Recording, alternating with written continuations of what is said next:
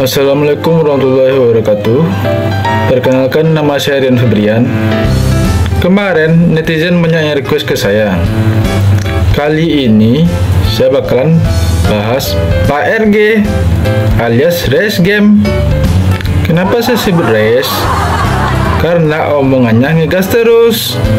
Kemarin aja Hokage dibilang bajingan tolol Untung Pak RG ini dibuat di zaman sekarang kalau di zaman Hokage kedua, pulang-pulang hilang malam. Ha. Hokage Konoha sampai sekarang tidak melaporkan PRG bukan karena takut, tapi karena malas. Kalau dilaporin terus sidang. Siapa yang mau debat lawan PRG? Kemarin jaksa aja debat lawan PRG dikasih kuliah gratis 3 SKS.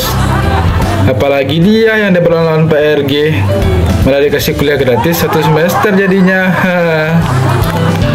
Kalau bonus dapat yang bisa sebanding dengan Pak RG cuma ada satu orang hebat yaitu Aldi Taher. Saya yakin Pak RG pasti bingung ngadepin Aldi Taher. Dan Aldi Taher pun juga bingung jawabnya jadi mereka sama-sama bingung ha. Terus Aldi Taher bilang, kita nggak bakalan bingung kalau sudah di surga. Kalau ditanya, saya marah nggak sama omongan Pak RG? Ya enggak lah. Orang Hokage aja santai nanggapinya. Ngapain saya emosi? Intinya, saling serang dalam dunia politik itu biasa. Dalam dunia pegawai juga orang saling saling menjatuhkan.